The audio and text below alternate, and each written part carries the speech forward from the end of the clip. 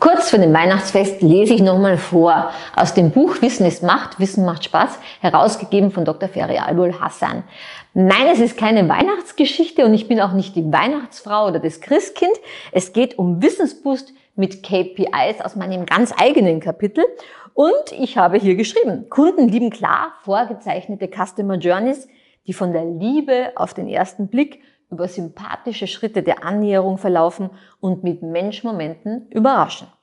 Kunden lieben Journeys, bei denen Mitarbeitende bei aller Empathie auch das fachlich, professionell korrekte richtig abwickeln und nach dem Kauf nochmal nachhorchen, ob das Kundenherz immer noch höher schlägt.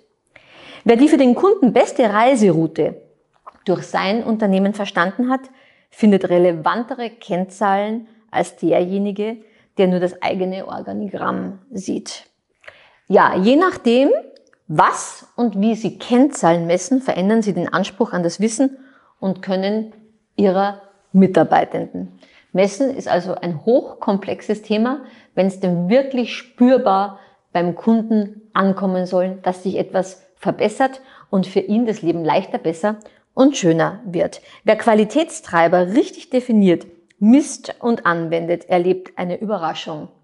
Kennzahlen machen Spaß, weil Kennzahlen Erfolge zurückspielen und weil sie motivieren, immer besser zu werden.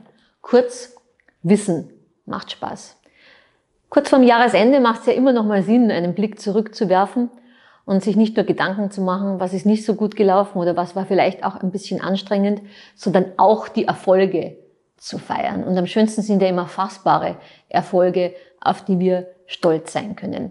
Wir nutzen dazu messbar unseren SISI-Index, Sophisticated Index for Service Improvement, der eine 360-Grad-Messung von Servicekultur und Servicehaltung in Unternehmen möglich macht.